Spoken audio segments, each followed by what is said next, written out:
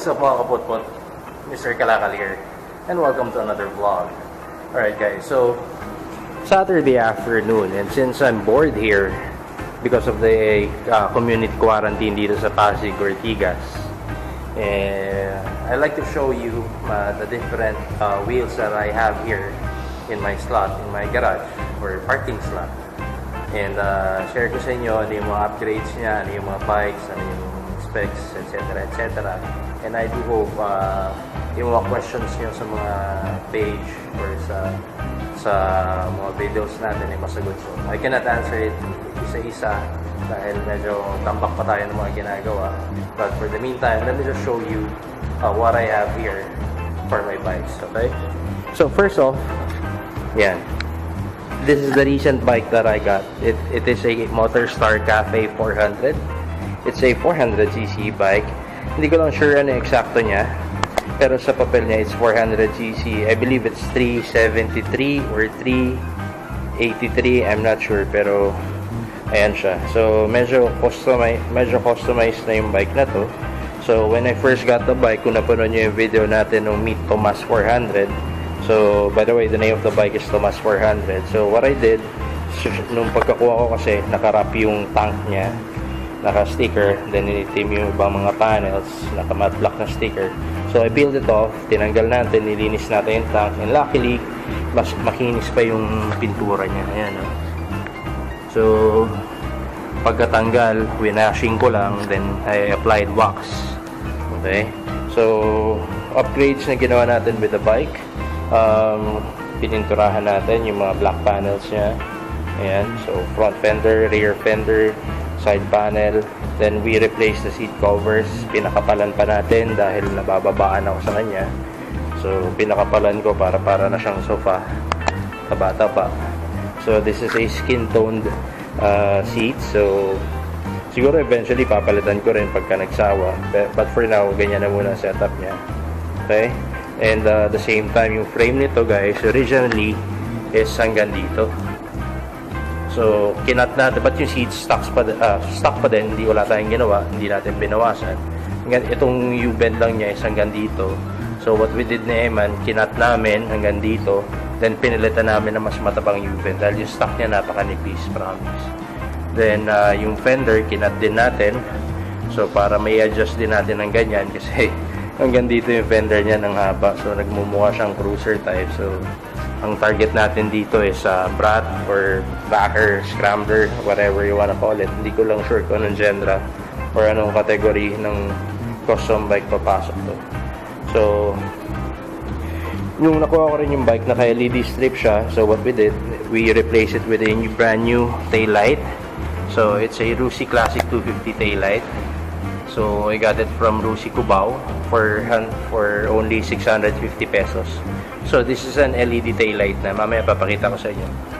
Hindi lang nakasaksak yung susi dito. Okay? So, ito. Since inalis na natin yung LED strip, pinalitan na rin natin ng ano, pinalitan na rin natin ng uh, what do you call this uh, for the meantime ito muna pansamantala but I'm still looking for a stock Rusi Classic 250 signal lights okay so shocks naman stock shocks pa din tinanggal ko lang yung sticker niya kasi nakaitim to nun so para sa akin ah para lang sa akin mga kapotpot, I prefer yung original finish niya, yung gold. Para, I don't know if magko-complement sa kulay ng bike. Pero that's just the way it is. Okay?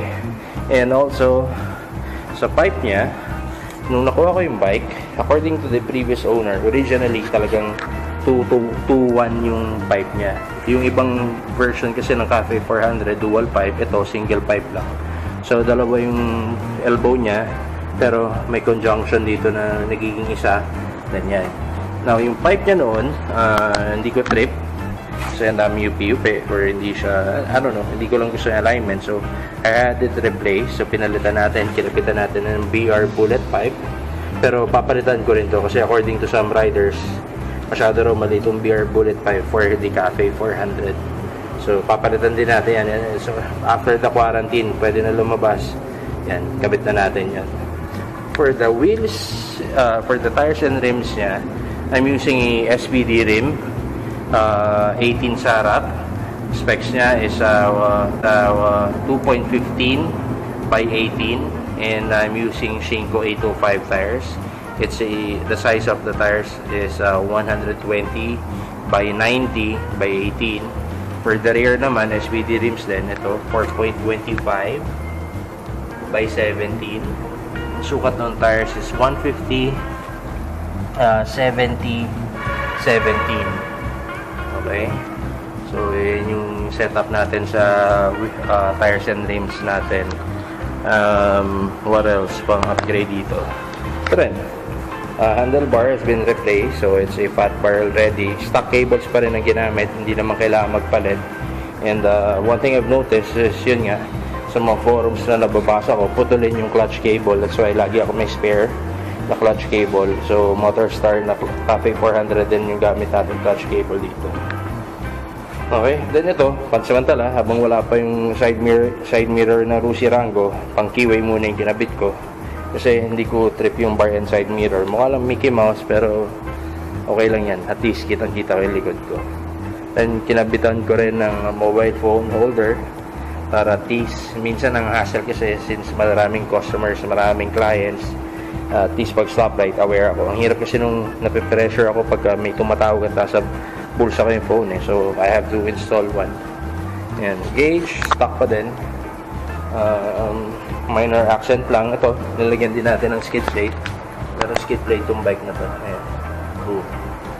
Sa headlight naman, na uh, originally nakamat uh, chrome yung headlight niya pero yung dating may-ari flinat black lahat medyo nawala ng contrast kasi para sa akin so what I did uh, yung rim nung headlight niya, ito, ginawa kong gloss black. Ang ginamit ko dito, samurai paint. So yan, ang tsura nyo yan. Then I'm using an LED bulb. So yung mga previous videos ko with Tomas, nakita nyo naman yung lakas ng ilaw na to. Pang kotse yung kinabit natin.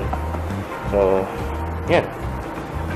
Okay, so moving on to the next bike. We have here si Basha 250. Ayan. So, take a look at Basha 250. Uh, to those who who have been watching my videos for quite some time, uh, if marirecall nyo, uh, this is my first bike. This is my, ito yung unang bike na nagkaroon tayo na what do you call this na brand new you know I got this from Rusi Junction so the brand new price for this one is 80,000 and it's negotiable for cash I believe hanggang 75 So, kayo na lang bahala makipagtawaran doon. And if you're gonna get this for installment, the down payment is 10,000. Then, 2,855 a month niya within 3 years. Okay? So, this is a 250cc bike. Uh, Lonsin. Uh, it's a old Honda engine. Yung technology niya. Carbureted pa rin. Okay? So, upgrades na ginawa natin. First, yan, nagpalit tayo ng handlebar. So, fat bar na rin to. I got the handlebar from Mr. Henry Ang. So, search nyo na lang sa Facebook si Henry Ang. Uh, makikita nyo yung mga several accessories niya for the Rusi Classic 250. So, together, naka-package na yun. Kasama na itong brake hose niya. Kasi kailangan mong palitan to. And yung clutch cable and throttle cable. Dahil yung stock bitin. So, side mirror naman guys, pinalitan ko ng pang Rusi Rango. As you can see, ang laki niya. So, point of reference, lighter. Ayan, mas malaki siya sa lighter. Pero ang ganda kasi kitang-kita mo siya. Alright? So, may, meron din siyang cellphone holder. Sabi ko nga, very important sa akin yung mga kliyente natin, yung mga customers natin. So, dito siya. Um, I, first day pa lang, I remove the decals. Tinungkad ko kagad. Then, nilinis ko agad. Then, ito ngayon, meron na siyang decals na ganyan. So, this is a matte gray uh, unit 2018 I got this in 2018 it's been with me for more than a year one year and three months four months I guess and the mileage for this bike is only 1,800 so accessorize ko by the decal so matte matte gray matte black na sticker then ito ginawa ko na sariling logo instead of using different logos or mga Royal Enfield Triumph logos Harley Davidson logo so I I made one ng sarili ko. So Lex, uh, I call this bike the Lex model. So wala lang, by Red Motors. Boom. Okay, so napalitan na rin yung shocks niya kasi yung stock niya, if you're gonna look at, if we're gonna take a look at the side profile, Ayan, may mababa siya pag nakasakay, nagmumukha na naman mag nagmumukha ding mag nagmumukha ding bobber. So I replace it with the ZZ shocks. Available din to kay Henry Ang. So PM nyo lang siya. So naka-lift na yan uh, 340mm or 350mm. So adjustable din yung damping niya. So yung mga gusto magpalit.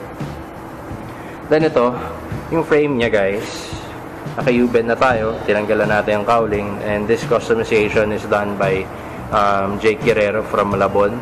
So, palit lang ng U-bend, stock seats pa rin ang ginamit namin. Minodify lang ng konti yung mga tenga sa ilalim ng upuan. And then ito, inexyan yung fender. I'm still using the stock taillight dahil I prefer using the stock one and stock signal light. So, yan. Sa seats naman, pinabalutan ko rin ng bago. I believe si Jake Guerrero in-offer na rin services. I mean, si Henry ang and Jake Guerrero in-offer yung services. PM nyo lang sila. Alright, so pinakapalan ko, yung stock kasi maliit din, mababa. So, ayoko nung mababang bike kasi. I'm only 5'7", pero I prefer uh, driving taller bikes. Wala lang. So, sa pipe naman, I got this from Brian Bruto. So, ito yung pipe na ginamit ko nandito. So, may silencer to para hindi masyado maingay. Ayan. Ilang beses na ako natatalis ka ng silencer. That's why pina-welding ko na. Para ganyan na. Ayoko naman na masyadong maingay na bike. I also got the skid plate from Mr. Jake Guerrero, Malabon. Ayan siya. So, ito yung isa sa mga upgrade na ginawa ko noon nung dinala ko sa kanya. Tires. Okay, tires lang pinalitan ko. I'm still using the stock frame. So, yung size nung uh, tires ko. By the way, this is a Shinko 705 naman. Kung mapapansin nyo isa, si Tomas. Ayun, nandun. 805 yan. Ako naman dito kay 7 kay Pasha 705. So hindi ganun ka-aggressive yung tread pattern niya. Pero makapit siya. I like this one. I prefer using this one. So baka palitan ko rin later on si Tomas. So the size for my front is uh, 120 uh, by 90 by 17 sa likod, it's 140 by 80 by 17. So, ayan. Ganyan siya tingnan.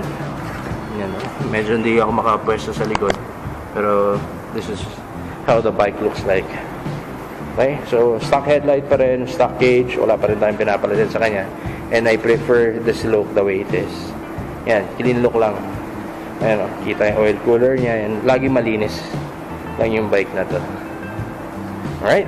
So, Gray. Alex Gray. and moving forward to another bike. So this is a Kimco Like 125. Originally, it's a 125cc engine. Ayan. Hindi ko lang maipakita sa inyo. Pero nirebadge ko siya. Ginawa kong like ER yung model. So like what I've said, ayoko nagdidikit ako ng ano nung sticker na pinagmumukha magmukhang Vespa, etc. etc. So what I just did is uh, nag-improvise tayo ng bago. Like PR kasi naka-bore up na siya. So 155cc na yung uh, scooter na to. Uh, GY6 engine. Ayan. So by Kimco, of course. So dito wala pa tayo major modifications na ginagawa. Sabi ko nga mas gusto ko stock. Right? I prefer using stock bikes as much as possible or mukhang OEM option accessory yung mga kinakabit ko. Okay? So, muffler still stock. Walang kalkal, walang retubo na nagawa dahil yung mga previous ko like ko, pinakalkal ko, pinaretubo ko and I'm not happy. Masaya na ako nito. Parang simple mo lang, sir. And I installed a uh, 47 liter sec na top box. So, mukha siyang uh, alloy because of the rib design pero I prefer this one kasi medyo bilugan. For me kasi mas proportion siya sa shape na yan. Yung side profile yan. Kung mapapansin nyo, gray din siya. By the way, the name of the bike is Bella. Bella. Ko like. Okay, so nothing fancy. Meron lang tayong OEM option na eyelid nito. May mga copy na rin na nabibili nito online. So, what else? Yeah, just like it. Clean and simple. Ito, pinapalitan ko rin upuan kila RS Moto. Available to kila Moto, kila Boss Richard. Kasi originally, yung stock balot niya ma madula. So, ayan, pinapalitan ko yan ng ganyan. Before, yung gray kong like na naibenta ko kila Jorge, uh, red yung seat cover ko ngayon, it's black na. Wala lang. Simplicity. And, there you go. Gray din siya. And as you can see sa background, four wheels natin, gray din. So, quick segue lang of this uh, uh, vehicle. It's a 2015 Montero, uh, Mitsubishi Montero 4056, 4056, um, manual transmission, accessories by Red Auto Parts, yours truly yan. Yung isa ko negosyo, Red Auto Parts, so installed chin, um, carbon wing, uh, etc. etc. Rear diffuser, and naka 2 inch lift siya. Ayan. Pati kotse ni-review eh, no? Yan, naka 2 inch lift siya with uh, Cooper tires. So, 285, 70, 17 with Rota Trail R. It's a 17 by 9 negative 10 offset kaya nakalabas siya ng ganyan. Ayan. Boom. Wala lang. Uh, before bikes talaga guys, before the bikes, I'm into cars so I, I restore Corollas, different types of Corollas, a different generation pero because of the traffic, wala. Display na lang tong kotse. Yung mga Corolla, binenta na natin. Palit tayo ng mga two wheels. Okay? So, yun lang naman yung may share ko with my garage. Uh, what, what I keep, ano yung bike rotation ko ngayon. Itong scooter natin, si Bella, I use this for my kalakal. Quickie, quickie getter ko to pagka iwas traffic or ano man.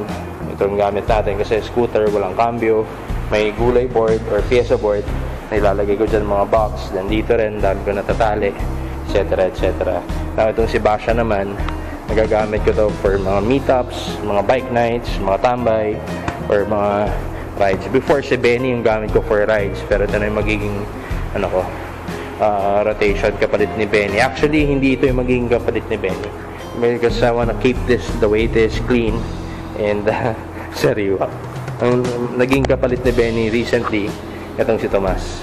So, ito yung lagi kong gamit. Ito yung lagi kong dinudumihan. Ito yung pinag-eksperimentuhan ko. Ito yung winawalwal ko. Average consumption of this bike is right now 27 to 30 kilometers per liter. As for uh, Basha, 30 to 35. And this one, 30 to 35 din. Kasi naka-bore up na to. Pero, pero it's all good. It's way cheaper than using a car. Okay? So, yun lang naman. And I do hope medyo may mga na-share ako sa inyo about my my uh, daily workhorse sa aking garahe dito. And uh, if you have any further questions pa with the bikes, just let me know. Comment lang kayo down below or sa Facebook fan page natin. Pilitin natin masagot yan as much as possible. Alright? So, so, ito lang, confused ba ako kay Thomas kung gagawin ko rin siyang gray with orange accent. Kasi sa register niya, orange black. So, siya lang yung naiiba sa mga collection natin. Alright, so future um, upgrade. Next bike na target natin, I like the, I'm, I'm eyeing for the Kawasaki ER6N. So, it's a naked bike na eventually kukustomize din natin. And syempre, yung bike pa rin natin na dream bike sa ngayon, it's the Royal Enfield Interceptor 650. Ko rin mag 800cc, mag 1000cc, pero eventually, makukuha din natin yan. Right? So I guess I'll be ending the vlog from here. Once again, this is your boy, Mr. Kalakan. Now signing off. Ciao. Wee! Good night, everyone. Ride safe palagi. God bless. Peace. Babush.